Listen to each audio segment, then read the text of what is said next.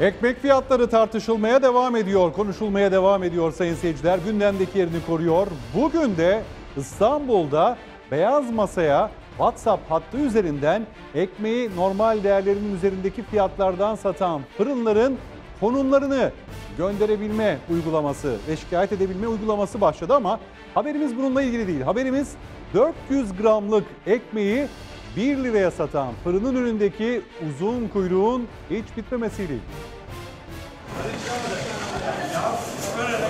Kuyruğun sebebi ortada.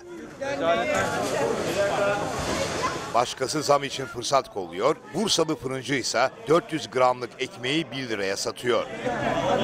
Biz zam yapmadık. Ee, Devamlı sıra var. Devamlı ürettiğimiz ekmek hemen satılıyor. Kazım Balaban Mustafa Kemal Paşa'nın 40 yıllık fırıncısı. Fırıncıların zam ısrarına rağmen ürettiği ekmeğin fiyatını korudu. Hatta 400 gramlık ekmeği 1 liradan satmaya başladı. Para kazanıyoruz.